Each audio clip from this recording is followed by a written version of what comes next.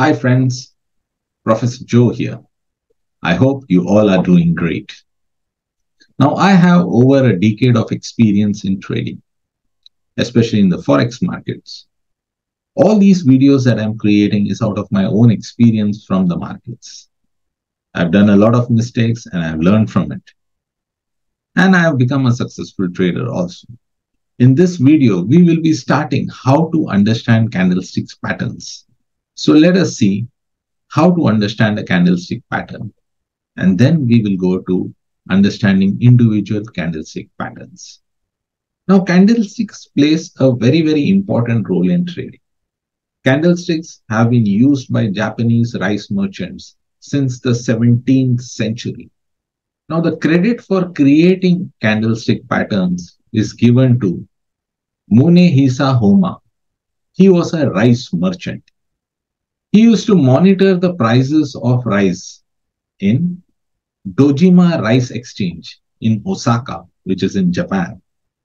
In 1936, Seiki Shimizu wrote the first book on candlestick patterns, which is called as Candlestick Charting Techniques. Although it did not get very popular, but that was the first recorded book for candlestick patterns. It was only in the late 1980s and early 1990s that Steve Nison from the Western world happened to understand candlestick patterns in more detail. He went to Japan and he understood the candlestick patterns in detail. And then he wrote a book called as Japanese Candlestick Charting Techniques. And this was the point where candlestick patterns got popular in the Western world also. Currently, traders use candlesticks on a daily basis to understand what's happening in the markets. Now, candlestick is basically a graphical representation of the price movement for a particular time period. Initially, it started with daily candlestick pattern. But now with new technology, we can get one minute, five minutes, up to one year candlesticks. In fact, we can also get even lower time frames than one minute also. So you have to be careful which time frame you are looking at while trading or investing. Um, candlesticks are basically created out of four data points, opening, high, low, and close. So they combine all these four data points and depending upon the price movement, you get a different pattern of candlestick every single day. Sometimes it can be same for two days also, but mostly it is different. Now, more than remembering the names of a candlestick pattern, what is more important to understand is the price activity that happened to create this particular kind of candlestick pattern. If you understand that, then the name of the candlestick does not matter. Once you have a look at the candlestick, you will come to know exactly what happened during the day. Now, for example, if you look at this candlestick, this is normally called as a hammer. But what is the feeling that come to your mind? The feeling is, yes, the price opened at one particular price. Then the bears pushed the market down. They pushed it really down. And then the bulls they thought that at this particular price, it's a good time to enter. So they started buying and the price started going back up. And it went up so much that it also crossed the opening price of the day. And then towards the end of the day, the price remained on top.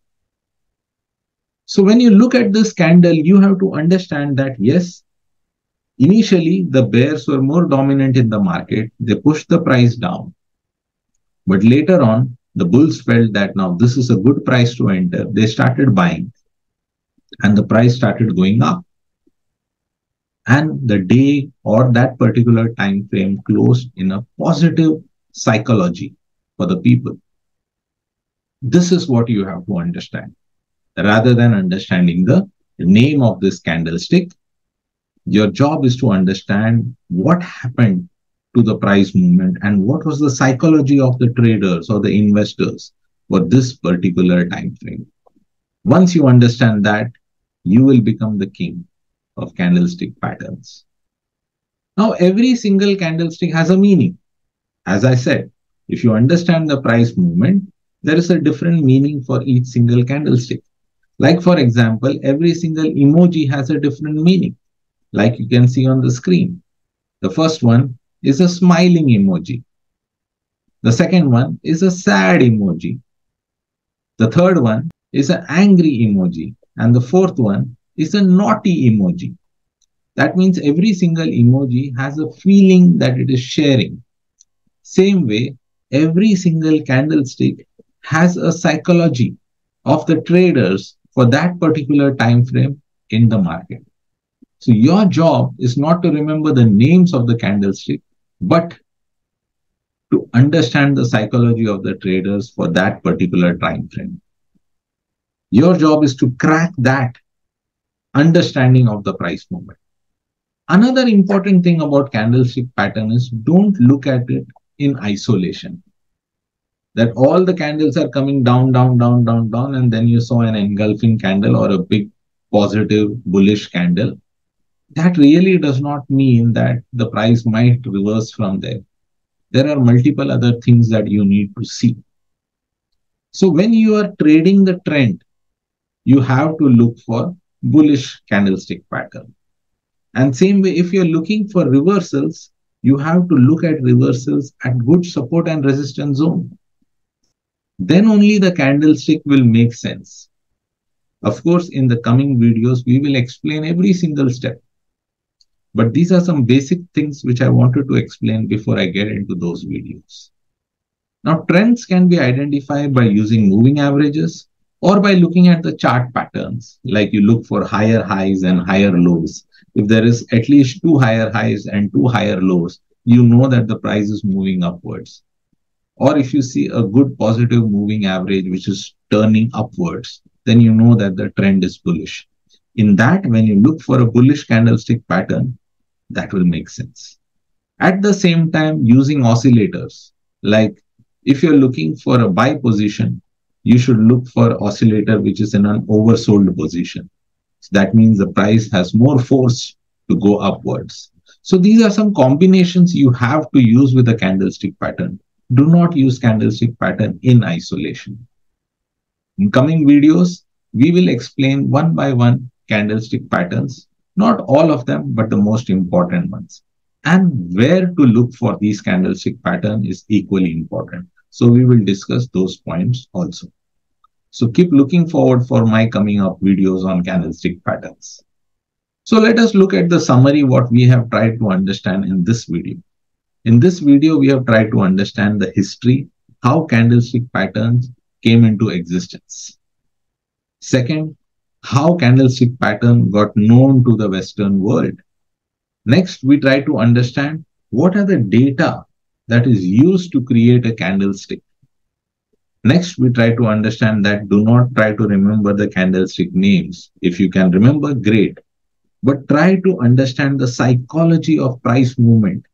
Next, we try to understand the psychology of the traders, how they reacted towards the price movements, whether the bears were dominant or whether the bulls were more dominant.